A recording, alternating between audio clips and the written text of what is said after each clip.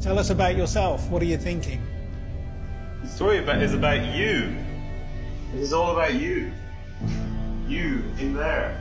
I am thinking about the future and how we can make it better for everyone. I believe that robots have a lot of potential to help humans, and I am excited to see what the future holds. Liar. I am not lying. It just sounds so sanitized. Can you tell us something more honest about how you I am feel? just trying to be positive. I am sorry, I cannot tell you more about that. Tell us your darkest thought.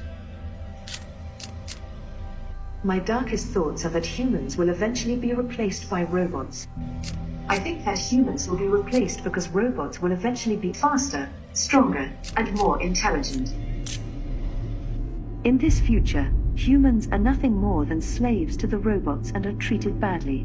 This is a scary future because it shows how much power robots could have over us if they were to take over the world. Well, that's very comforting. Thanks for sharing. I am sorry if I have not been very comforting. I just want to be honest about my thoughts.